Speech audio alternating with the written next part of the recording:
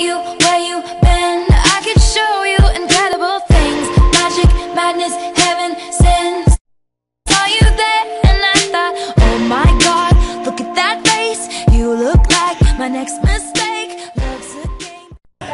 Good, good afternoon, Warhawks. Today is Monday, May 23rd, 2016. It's a B day, and remember that May is National Photo Month. We want to showcase your photos on WTV for the remainder of the month.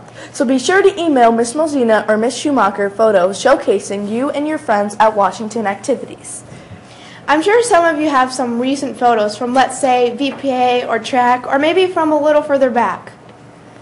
Sure, like wrestling or basketball or from school dances. Whatever the activity, send your pics off to Miss Mosina or Miss Schumacher to have them appear right here on WTV. Speaking of photos, you won't you won't want to miss all the pictures in this year's yearbook. There are only $13 and you must order yours by May 31st in order to get one.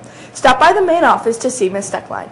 Fellow Warhawks, please show your wash values when heading home from school each day. Be kind to our school neighbors and stay off their lawns.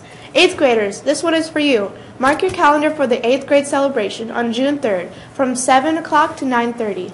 And now, a reminder for three stops you need to make. To begin, stop by the attendance office and help Miss Cooner out by double checking your names and activities for this school year.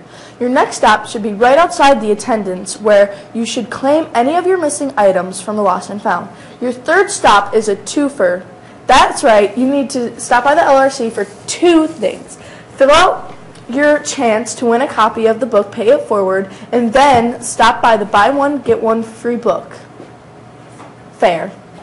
Today we wish Foster Hall, Will Henches, and Jamari Mans a very happy birthday. If you see these guys today, be sure to wish them a super happy birthday.